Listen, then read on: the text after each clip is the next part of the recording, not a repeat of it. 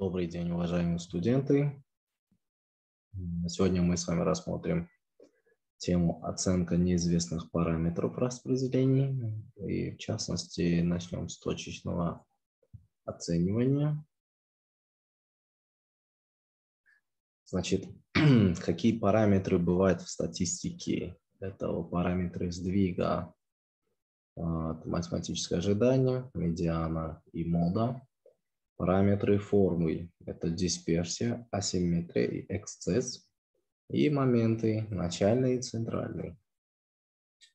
Начнем с того, что э, дадим определение математического ожиданию. То есть э, они бывают двух видов, то есть для двух случайных величин. Это первые дискретные случайные величины и вторые непрерывные случайные величины и значит для дискретных распределений это сумма э, значений случайной величины умноженной на соответствующую вероятность. Э, их еще называют, э, пишут английской э, буквой E от слова expectation. А в непрерывном случае здесь просто значение случайной величины умножается на плотность функции в интервале минус бесконечности до плюс бесконечности. Э, давайте э, дадим определение, что такое мода. Значит, значение m0 непрерывной случайной величины, при котором имеет место максимум плотности распределения. То есть для дискретной случайной величины ее наиболее вероятные значения. Значит, медиана – это значение случайной величины, которое делит область ее значений на две ровные части. Или на две части так, что вероятность попадания в каждую из них равна 0,5. Здесь на графической иллюстрации можете увидеть, вот у нас функция распределения, вот у нас медиана, вот у нас э, меняется в данном случае. Э, Значит, область значений, и вот медиана делит ее пополам. То есть это вот попадание 0,5 и попадание во второй половину, то вероятность 0,5. Значит, параметры масштаба, какие бывают дисперсия и среднее квадратичное отклонение сигма квадрат, то есть формула дискретной случайной величины. Для дискретной случайной величины дисперсия имеет такой вид. Э, э, разница или отклонение э, случайной величины от ее математического ожидания в квадрате умножаете на вероятность.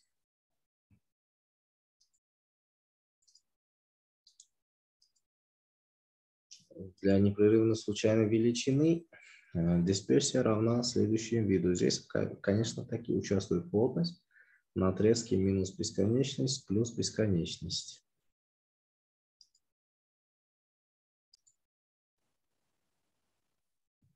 И кроме этого можно говорить для непрерывно случайной величины, то есть э, отклонение случайной величины от ее математического ожидания в квадратичном, в квадратичной форме и в умножении с плотностью на отрезке минус бесконечность плюс бесконечности в интеграле даст нам дисперсию и дисперсия – это и есть среднеквадратичное отклонение. Если мы хотим просто а, узнать значение сигмы, то нам надо будет брать корень из дисперсии. Значит, коэффициент асимметрии, что это из себя означает? Это момент третьего порядка, деленный на э, кубический, то есть кубическую степень сигмы. То есть это нам даст Э, знать, насколько асимметрия чувствуется в выборке. И коэффициент эксцесса, то есть здесь вы можете видеть, э, насколько критический и резкие колебания э, существуют функции распределения ее плотности случайной величины, так как функция распределения она формируется из случайной величины. Если мы хотим узнать как себя будет вести эта случайная величина, особенно если это касается задачи биологии и медицины, в том числе и Здесь можно давать какие-то свои прогнозы, и делать какие-то выводы и принимать решения, исходя из этих результатов. Значит, э, моменты. Значит, они бывают начальные, центральные. Значит, методы построения оценок. Значит, метод статистических аналогов, метод моментов и метод наибольшего правдоподобия. Значит, какие требования к оценкам? Э, первое – это обязательно, то есть всегда. Первое – это состоятельность. Второе – несмещенность. И третье – эффективность. Значит, несмещенность, почему нам нужна? Вот в случае дисперсии она называется смещенной. Поэтому мы используем исправленную дисперсию. Это обозначаем буквы S. И эффективность. А как проявляется эффективность? Эффективность проявляется только тогда, когда дисперсия бывает наименьшей. Значит, чем меньше дисперсия, тем больше эффективности. То есть, чем больше дисперсия, тем меньше эффективности. Что, что об этом говорит? Что это означает? Потому что если дисперсия больше и э, расположение данных то есть насколько они э, далеко находятся друг от друга. То есть это будет говорить о том, что и либо во время испытания э, исследователь допустил ошибку, и данные э, не, некорректный или неактуальный, или второе, ситуация требует вмешательства, потому что ситуация очень серьезная. Значит, метод статистических аналогов. Метод основан на интерпретации выборки как дискретно случайной величины, у которой все значения равновозможны. И построенные в этом предположении числовые характеристики называются выборочными. Значит, выборочный средний э, статистический аналог мат ожидания. Вот негруппированные данные вы видите. Э, среднее значение x, где э, сумма x и деленный на n, или группирован, группированные данные уже существуют здесь. Значит, mg умноженный на z, то есть уже идет группировкой, и сумма всех m это равно объему или выборочная дисперсия вот у нас уже здесь используется S, и в э, случае негруппированные, группированными данными. Есть еще такое понятие начальные моменты. Это значит А1, где X и А в группированных данных, MG и ZG. Есть центральные моменты. Значит, это момент первого порядка. Вот вы видите здесь отклонение X на среднюю величину. Здесь то же самое, просто уже идет э, с появлением частоты. Значит, метод моментов, что здесь можем сказать? Значит, достоинством этого момента является относительная простота получения. То есть просто вот посчитали и сказали ответ. Но тут есть еще недостатки. То есть оценки обычно имеют эффективность много меньше единицы и могут быть смещенными. То есть метод неприменим, когда моменты нужного порядка не существуют. Есть случайные величины, где, вот, допустим, моменты э, более, то есть э, выше первого порядка, они не существуют. Здесь она уже будет неэффективной. То есть, скорее всего, оно будет смещенный и неэффективный и поэтому у вас оценка, которую вы даете, она может быть недостаточно, так скажем, достоверным.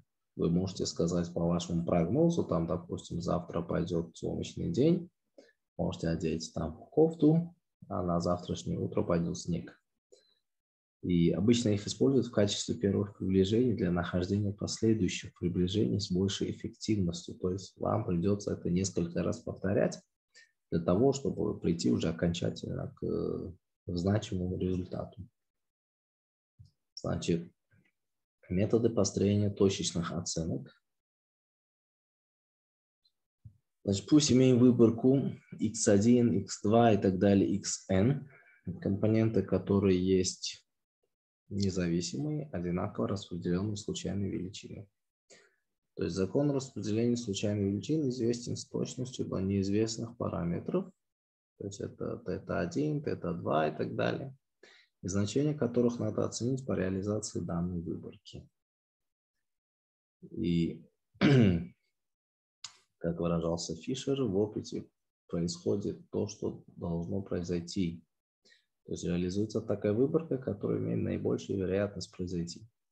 И вероятность реализации выборки определяется законом распределения, а следовательно зависит от неизвестных параметров распределения. Для полученной выборки наилучшими будут такие параметры, которые обеспечивают максимум вероятности реализации данной выборки. Есть такая функция, называется э, функция правдоподобия. Это вот, эту функцию обозначаем через L. Она зависит от параметров x1, x2 и так далее, xn и θ и, естественно, оно равно э, вероятности случайных величин, которые принимают значение маленький x1.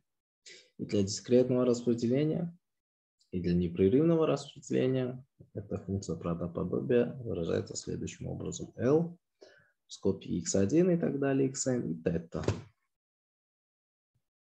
Значит, уравнение правдоподобия Э, составляем э, уравнение, значит, у нас есть функция правдоподобия L, x1, x2 и так далее, xn и θ. И про логарифм, логарифмируя их, берем производную или находим, э, берем производную по θ и проравняем ее к нулю. Значит, втор, э, второго, дифференциал второго порядка от этого уравнения, если оно будет меньше нуля, и, следовательно, θ со звездочкой, это уже будет точкой максимума. Это нам известно из функции, из курса функций математического анализа. Значит, точная оценка математического ожидания – это выборочно средний, дает несмещенную состоятельную оценку мат ожидания. Естественно, все математические ожидания этих случайных величин, они равны между собой. Если найти математическое ожидание среднее, э, математическое ожидание оценки, то здесь понятно, что оно будет равняться самому себе это и есть несмещенность. Значит, для проверки состоятельности этой оценки найдем ее дисперсию, обозначив дисперсию генеральной совокупности сигма квадрат. Если найти дисперсию, то видно по формуле, что дисперсия равна быть сигма квадрат, деленный на n. И точечная оценка дисперсии или оценкой дисперсии является выборочная дисперсия S.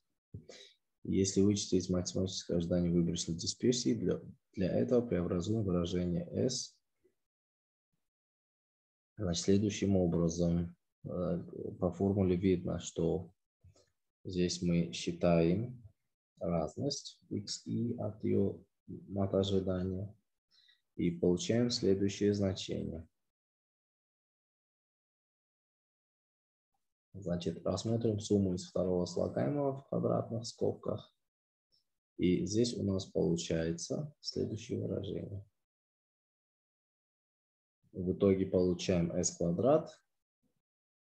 И если раскрыть скобку, ну и тогда математическое ожидание выборочной дисперсии будет следующим образом. Значит, n минус 1 деленный на n сигма в квадрате.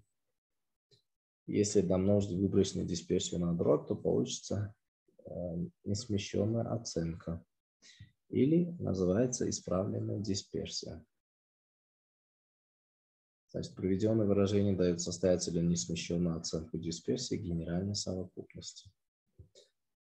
И теперь пусть x1, x2 и так далее, xn – это выборка объема n из распределения Пуассона, где, значит, π лямбда, э, лямбда положительная, найдем, значит, оценку э, параметра, неизвестного параметра лямбда. Значит, здесь у нас э, закон распределения же имеется. Если подставить функцию плотности распределения, то мы будем иметь результат по формуле, где fx э, лямбда равно произведению лямбда x, xi и деленный xi факториал e в степени минус лямбда. Поскольку эта функция при всех лямбда положительных непрерывно дифференцируема по лямбда, можно искать точки экстремума, приравняя к нулю частичную производ... частную производную по лямбда. Но удобнее это делать для логарифмической функции правдоподобия. То есть прологарифмируем э, левую сторону и приравняем ее к нулю. Тогда производная от функции правдоподобия по лямбда она, э, будет выглядеть следующим образом. И точка экстремум, то есть э, решение уравнения в этом случае будет само лямбда. Спасибо за внимание.